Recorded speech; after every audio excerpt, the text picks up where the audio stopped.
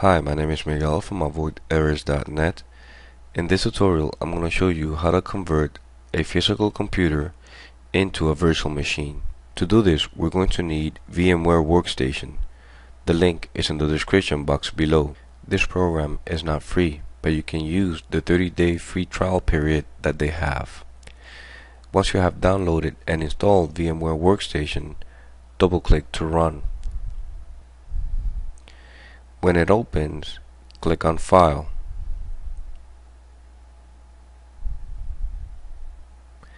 From the drop-down, click on Virtualize a physical machine. When you click on Virtualize a physical machine, it's going to install a program called VMware vCenter Converter that works in conjunction with VMware Workstation. Once VMware vCenter Converter is installed, click on Virtualize a physical machine.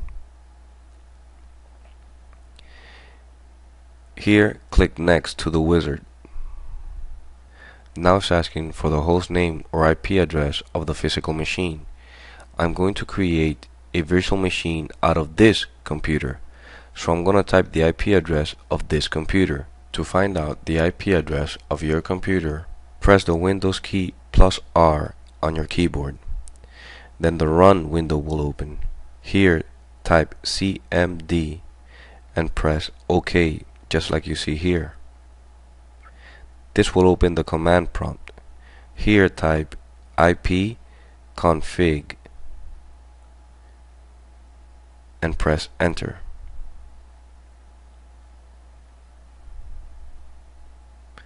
This here is your IP address. Now type this IP address here. You can also type the host name, but I prefer the IP address.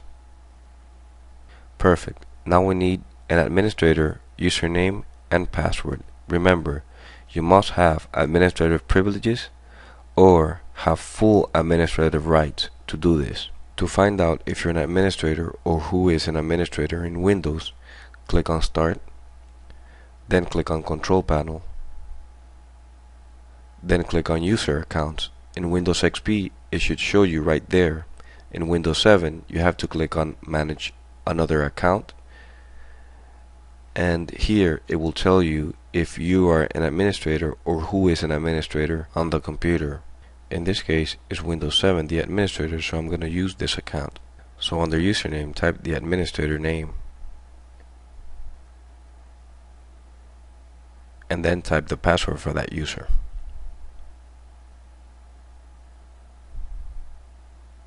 Perfect. Remember, you need administrative privileges to do this. And click Next. Here, name your virtual machine. I'm going to leave it as is Windows 7 and then select the path of the virtual machine. You can leave it default or you can browse for a different location. I have already created a folder for this virtual machine so I'm going to browse for my folder.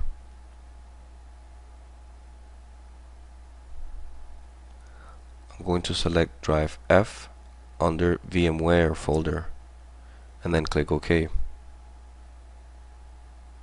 Once you have selected the path, then click on Next. Here, type the username for the local account. Since I'm going to create a virtual machine out of this computer, I'm going to use this computer username and password and click Finish. If I was creating a virtual machine out of a PC in the network, then I would use the username and password of the computer where I'm running VMware Workstation. If you're converting your own PC, then use your own username and password. Once it's done creating the virtual machine, on the left pane here, click on the Windows 7, the name of the virtual machine. Click on the play symbol to start your newly created uh, virtual machine. type the password for the user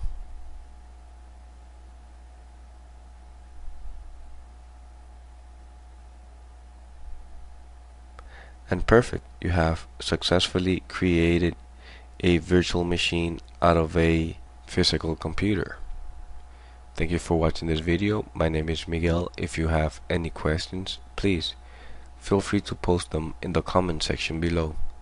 Thank you.